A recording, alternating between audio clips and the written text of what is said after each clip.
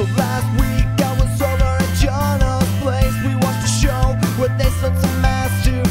I thought, hey, could that really work? So I went home to concoct hypothesis. Can I sew an anus to an esophagus? I thought, hey, yeah, this could really work.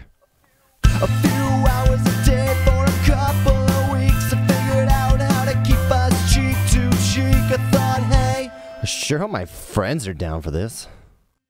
my friends and I are gonna make a human centipede. Centipede, centipede, centipede. My friends and I are gonna make a human centipede. Centipede, oh yeah. I went around and pitched my brilliant scheme, but no one wanted to join the centipede team. I thought, hey, What the fuck, guys? so plan B,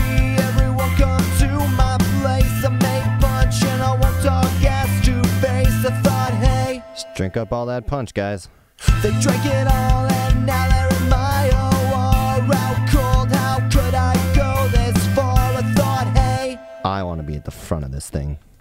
My friends and I are gonna make a human centipede.